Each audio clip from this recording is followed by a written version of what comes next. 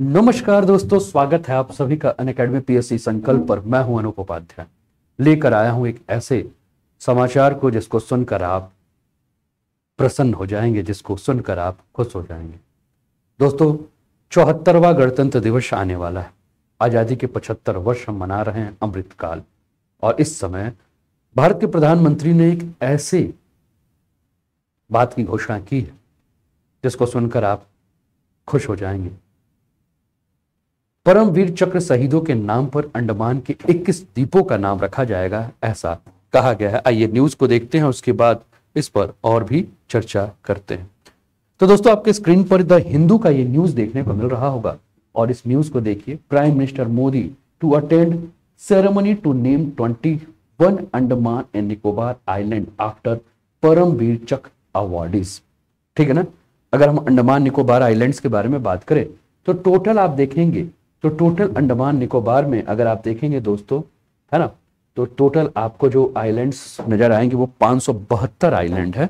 और इस पाँच आइलैंड्स की अगर हम बात करें दोस्तों तो इसमें कुछ आइलैंड्स ऐसे हैं, जिसमें कि पाँच आइलैंड्स में अगर हम बात करें तो अंडमान निकोबार में अगर हम बात करें तो 36 आइलैंड ऐसे हैं जो कि आपका इनहेबिटेटेड हैं, जिसमें से 24 अंडमान में है और 12 निकोबार में है। यानी कि कुल मिलाकर अगर हम बात करें तो पाँच में से छत्तीस ही ऐसे आइलैंड है जहाँ लोग रहते हैं, बाकी सारे निर्जन हैं। इसके अलावा अगर हम और भी बात करें दोस्तों तो आपको पता है कि इसके पहले 2018 की अगर हम बात करें तो नील आइलैंड और हैवेलक आइलैंड को जो है, उसका नामांकन शहीद द्वीप और स्वराज द्वीप में किया जा चुका है। ठीक है ना? अब दोस्तों आपको ध्यान रखना होगा तेईस जनवरी। यानी कि जब आप ये वीडियो देख रहे हैं, उसके एक दिन बाद। तेईस जनवरी को दोस्तों आप जानते हैं कि नेताजी सुभाष चंद्र बोस की जन्मतिथि है और उस दिन हम उनके याद में 23 जनवरी से लेकर और 30 जनवरी जिस दिन शहीदी दिवस है, यानी कि जिस दिन पापू की हत्या हुई थी, तब तक हम पूरा गणतंत्र दिवस को सेलिब्रेट करते हैं। नेताजी सुभाष चंद्र बोस की याद में जो पराक्रम दिवस मनाया जाता है 23 जनवरी को, उसी 23 जनवरी को अगर हम बात करें तो 23 जनवरी को जो पराक्रम दिवस मनाया जाता है, उसी दिन जो है, अंडमान निकोबार के 21 बेनाम द्वीपों का जो है, वो नामांकन करने का जो है वो घोषणा किया जाएगा और ये 21 परमवीर चक्र सम्मानित शहीदों के नाम पर रखा जाएगा और इसको 23 जनवरी को वीडियो कॉन्फ्रेंसिंग के माध्यम से प्रधानमंत्री मोदी जी जो हैं, वो इन द्वीपों का नामांकन करेंगे। ठीक है? तो 23 तारीख को हम देख रहे हैं, पराक्रम दिवस है और ये सुभाष चंद्र बोस जी, यानी कि नेताजी के याद में जो है, वो ये दिन मनाया जाता है। लेकिन इसके पहले आप देख रहे हैं दोस्तों, द हिंदू की एक और कटिंग आपको नज़र आ रही होगी, दिसंबर 30 दिसंबर 2018 का, जिसमें Narendra Modi renames Ross island to Netaji द्वीप है ना? तो ये नामांकन की प्रक्रिया अगर हम बात करें, दोस्तों तो हम जान रहे हैं कि जब 2014 में बीजेपी की गवर्नमेंट आई, यानी कि वर्तमान जो सरकार आया, इस सरकार के आने के बाद अगर हम बात करें तो हमने देखा कि नेताजी के ऊपर, यानी कि सुभाष चंद्र बोस जी के ऊपर, उन सारी पुरानी चीज़ों को जो है, वो ढूंढा गया और नेताजी का भारत की आज़ादी में क्या योगदान है, वो सामने लाने का भरसक प्रयास किया गया, है ना? तो नेताजी के नाम पर रॉज आइलैंड का जो है, वो नाम जो है, वो नेताजी द्वीप कर दिया गया। लेकिन इसके अलावा उन्होंने दो और आइलैंड्स जो थे, उनका भी नामांकन जो है, वो किया। आपके स्क्रीन पर आप देखेंगे दोस्तों तो आपको ये हैवलॉक आइलैंड और नील आइलैंड जो है, वो देखने को मिलेगा। और जिसका नामांकन जो है, पहले ही जो है, वो किया जा चुका है। है ना? जैसे कि आप अपने स्क्रीन पर देख रहे हैं। ठीक है? अब आप ये देख रहे हैं दोस्तों, ये रॉज आइलैंड है। और इस रॉज आइलैंड्स में जो है, ये 29 दिसंबर नाइनटीन 1943 को जो है याद करते हुए, और ये नेताजी की आपको प्रतिमा नज़र आ रही है, निष्ठा, कर्तव्य और बलिदान, ये लिखा हुआ है है ना? नेताजी के शब्द जो है। लेकिन अब इस पर हमको ध्यान देना है कि जैसा कि मैंने कहा कि सबसे बड़े जो द्वीप हैं, और टोटल जो 21 द्वीप हैं, उनका जो है वो नामांकन किया जाएगा, ठीक है? और जैसा कि मैंने कहा कि इसके पहले नेताजी के नाम पर जो है, वो रॉस आइलैंड का नाम जो है, वो नेताजी के नाम पर रख दिया गया। अब जैसा कि मैंने कहा कि जैसे ही मोदी सरकार आया, मोदी सरकार का काल आया तो नेताजी को अलग अलग माध्यमों से लगातार जो है, वो सम्मानित किया जा रहा है। उनकी जयंती को जो है, वो पराक्रम दिवस मनाया जाने लगा है। और ये फैसला इसी सरकार के काल में हुआ और उनसे जुड़े काफ़ी सारे दस्तावेज़ जो है, नेताजी से जुड़े, वो सार्वजनिक किए गए।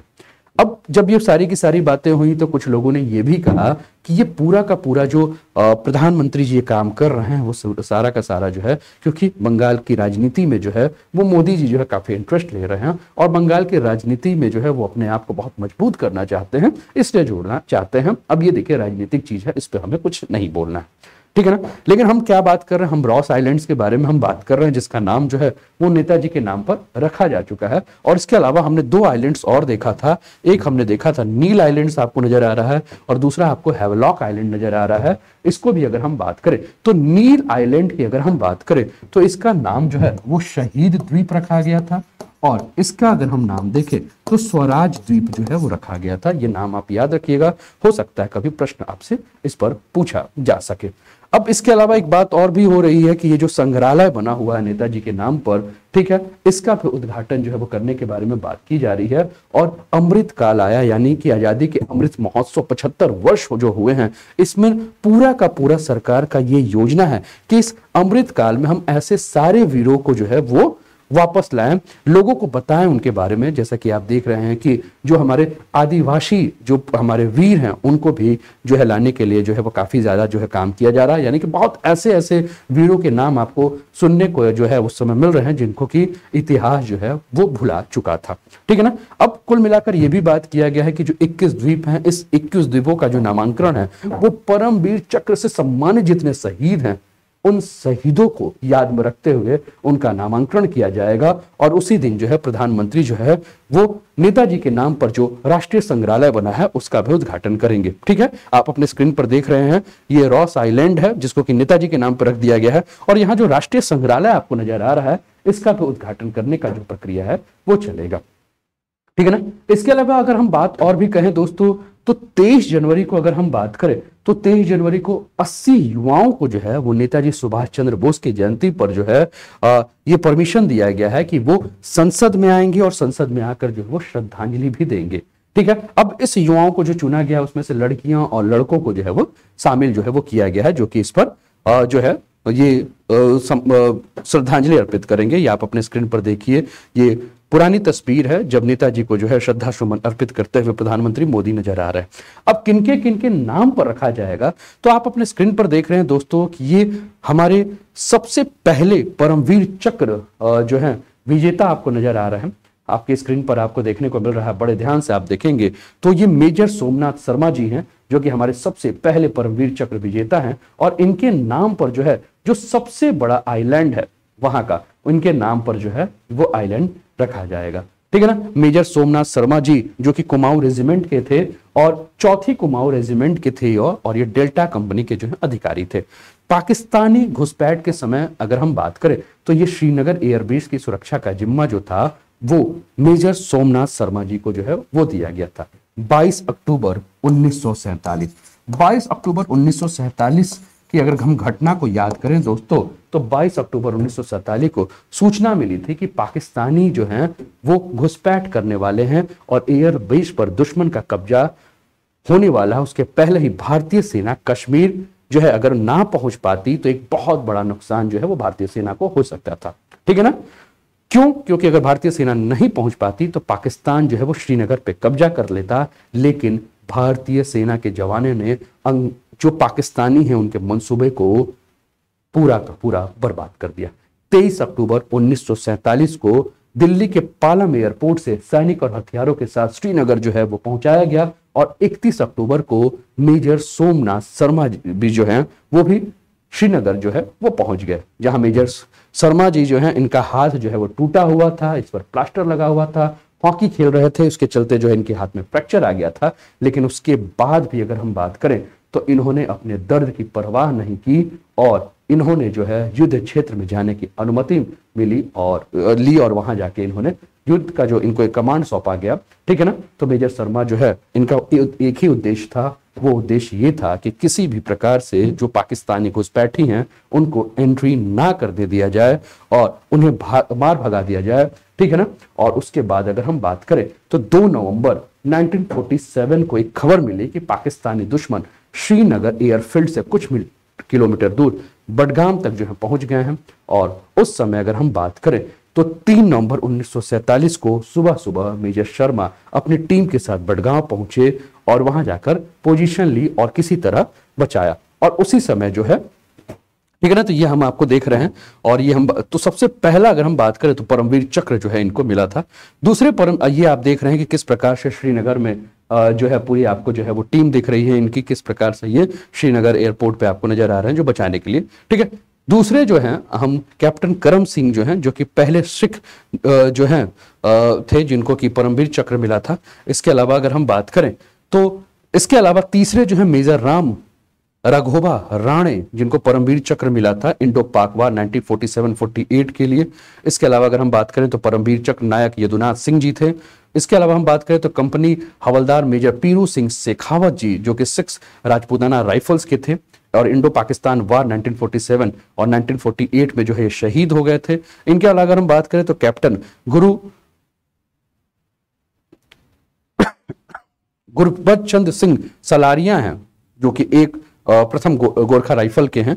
इनको मिला था। इनके अलावा अगर हम बात करें तो परमवीर चक्र मेजर धन सिंह थापा हैं। इनके अलावा अगर हम बात करें तो जोगिंदर सिंह जो हैं सूबेदार जोगिंदर सिंह जी इनको मिला था। इनके अलावा अगर हम बात करें तो परमवीर चक्र मेजर शैतान सिंह जी हैं।